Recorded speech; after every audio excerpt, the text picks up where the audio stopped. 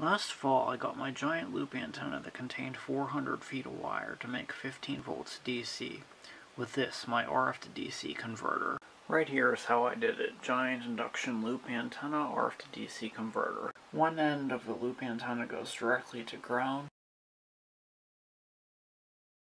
The other end of the loop antenna goes to the RF to DC converter and gets grounded there too. So not only do you have a voltage difference from here to here, you also have what the antenna picks up that makes energy. Now I used heavy thick 14 gauge wire to do this. And since it was such low current, I was thinking, why not build it out of thin enameled copper wire? Here's some 42 gauge enameled copper wire, 6,105 feet, $8.91.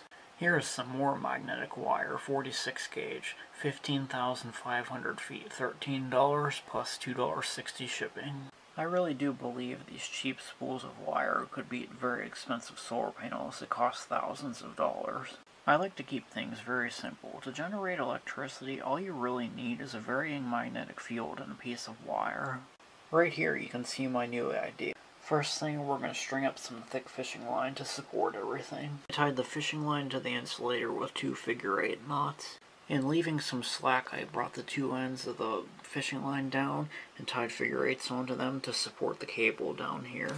The fishing line supports the enameled copper wire. The enameled copper wire comes down and connects to the wire like this.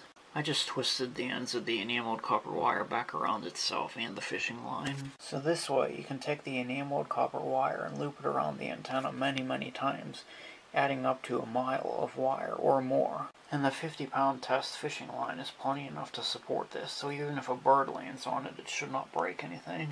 And I'm also going to build steel towers that you just pound into the ground. As you just saw, you can get very long lengths of this wire very cheaply. This shows great potential to do a lot better than solar panels. This thing right here could make up to 50 volts. This circuit may look very complicated, but when you put it on paper, it's actually very simple. Well, thanks for watching. Please subscribe and happy experimenting. For some reason, there is very little information online about these experiments.